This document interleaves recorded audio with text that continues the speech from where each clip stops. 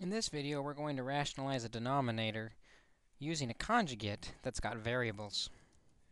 In this example, 2 root 3x over 4 minus square root of 5x cubed.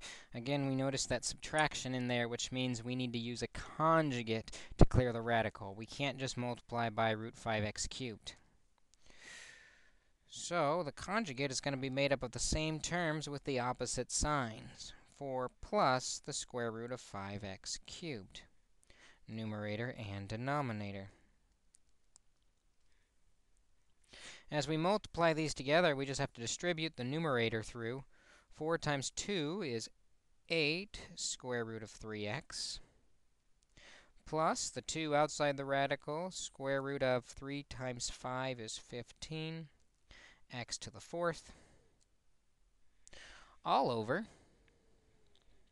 and Again, because they're conjugates, we only have to multiply the first and last together. 4 times 4 is 16.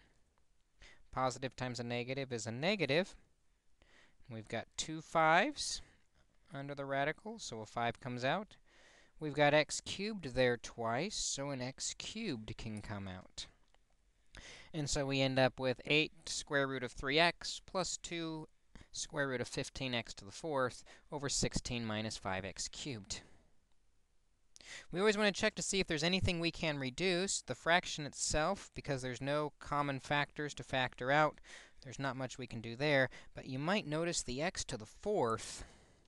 We can simplify that by dividing the exponent by the index of 2. That's going to pull x squared out, leaving nothing behind.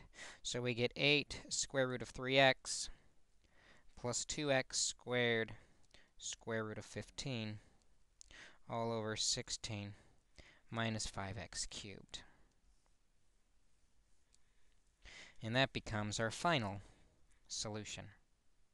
So variables don't change the patterns at all.